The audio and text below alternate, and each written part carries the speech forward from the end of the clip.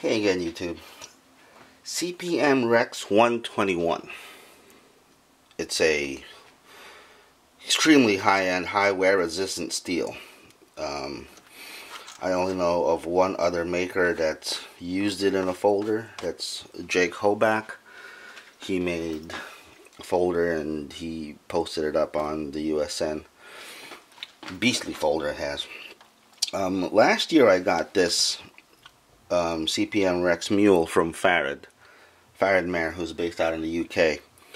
Um, he said he was going to do a project that involved this steel and everybody was eager to see what he would come up with. Uh, the steel is, he says, about 68 um, Rockwell at on the flats, which probably comes out to around 70 at the edge because it's a lot thinner. This blade is very thick. Um, it's got the hot rolled finish on it.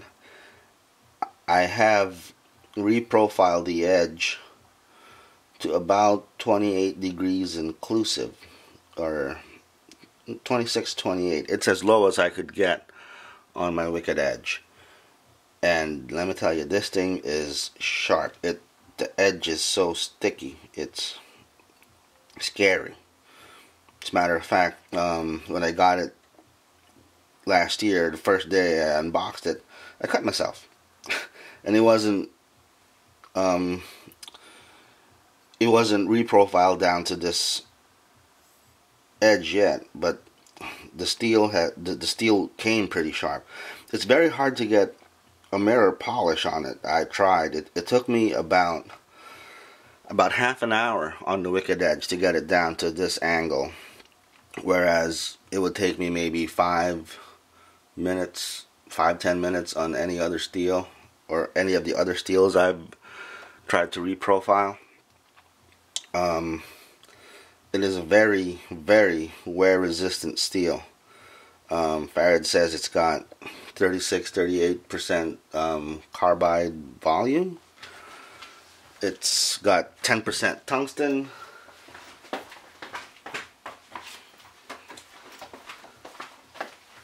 According to the data sheet he sent me, or I guess this is a certificate certificate of authenticity. Um, carbon's at 3.4%, chromium's at 4%, vanadium's at 9.5%, tungsten at 10%, cobalt at 9, molybdenum at 5. It is very hard to work with. Um, says he buys 200 ceramic belts at a time and he goes through all of them or he's gone through more than one batch of those trying to grind these knives and he announced uh, shortly well not shortly it actually took a while and I don't blame him that he was gonna make a folder out of that steel his K2 version and I got on that list and after a while of waiting I got this in the mail yesterday. Um, I didn't do a video on it right away because it was kind of late. Uh, this is Farid's K2. It is a big ass folder. It's got the same um, hot rolled finish on the blade, on the blade flats. It's got the spider hole. I guess that's licensed from Spyderco. And it's got titanium, I guess, scales, or it's a titanium liner lock. It's got a ceramic nitride, let me see here. Yeah, silicon nitride ceramic detent ball. Um, it's got heat treated beryllium copper. Pivot. He said he calls it a pivot screw spring, but the the pivot's pretty beefy, and it's, it's constructed with just two screws. Well apart from the clip. But it's got one big standoff slash spacer over here um, titanium clip um, 6AL4V titanium for the frame. And it is big. It's a big knife. Um, overall it's I believe 9 and 13 sixteenths in length. The blade is about four and a half inches from tip to the start of the handle and it is pretty thick blade. He says he grinds these to about 80% and then stress relieves them in his kiln for 24 hours. Um, he says he needs to leave the blades fairly thick because it will it will warp and he's had some warp um, during the heat treat. Um, I haven't tried to do anything with this yet apart from cut paper but with this mule I've batoned wood through it I've whittled with it um, there had I haven't I haven't experienced any kind of edge deformation or chipping. Uh, a lot of people are concerned about the steel's brittleness being that high hardness. But so far, man, this steel is a beast. It's, or I should say, beastly. It's extremely wear resistant. You can take the edge down pretty thin, and although I don't know how much thinner you can get it, considering the thickness of the blade itself. But as far as damage to the edge, I don't think that's a worry, unless you maybe drop it on concrete floor or tile floor. But I've never actually, I almost dropped this the first day I got it when I got cut. And I got cut because I tried to catch it. Stupid me. But it didn't hit the floor, so. Anyway, this is the K2. And for comparison's sake, here is a Spyderco military, a titanium military. My, I mean, you, anybody who's seen my page or my videos has probably heard of this, or Solo's videos. He did, um, Solo's knife reviews did this for me. He etched, he etched the blade.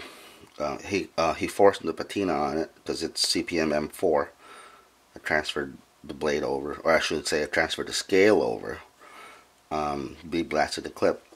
But as a comparison in size, they're not that much different lengthwise. But if this is how, I guess, I would say big my palms are. Um, my fingers aren't that long, but I do have I guess a big enough hand that I can com almost completely um, close up on the handle of a military.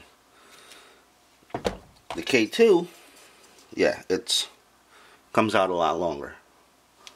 I wouldn't say a lot longer. I guess the, the grip makes it set a little bit more forward, um, more closer to the pivot or right on top of the pivot compared to the military which the thumb ram kind of sets your grip about an about an inch from where the blade starts.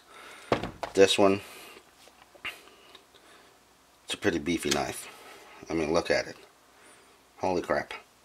Um, the one thing that I noticed right away is, although uh, Infrared has assured me that the silicon nitride ceramic detent ball isn't likely or is probably never going to wear out because it's that much harder than the steel. And it might slowly as I open and close it or use it wear its own path onto the blade tang or um, wear its own detent path and you can almost hear and it might sound gritty, but it's not. It's just the nitride, um, the silicon nitride ceramic ball riding over the hot rolled finish on the flats. Um, somebody on the forum said he smoothed out the flats um, along the detent path, and it helped a lot with getting it to slide open or um, open smoother. But I have no problem with the ball riding along that I guess uneven surface, but it's it's nothing to worry about as, as, as far as what Farid has assured me. I might try to round the spine a little. Um, it's cool to see all the grind marks, and I'm sure he, I'm, I'm sure Farid spent many hours and many belts um, finishing this project up. He made his own personal K2 folder out of the same steel and he polished the flats on his and it took him a very long time to do that. It is just the steel is just designed to be that wear resistant. So I don't know how long it's going to take to smooth out or round out the spine, but I can try and I guess slowly work myself up to it. Um, it is a carbon steel. It will rust and oxidize as freely as any of the other carbon steels out there. Um, you just have to, I guess, maintain it as normal. Um, I have I haven't had a problem with CPM M4, and I have a few other knives with the same steel, and I haven't had any problems with rust that everybody seems to be concerned about. Although this has a forced patina on it, which kind of protects it from any type of corrosion. I have a couple of Gayle Bradleys that also have CPM M4, and the blades are fine. You know, I just I have a um, I guess obsessive compulsive way of wiping my knives down after after using them, which everybody should. You should treat your tools and maintain them properly if you want them to last or if you want them to keep looking good. Um, and that just goes along with um, almost any other steel, whether it's stainless or not. I keep them in a nice dry place, um, wipe them down fairly often.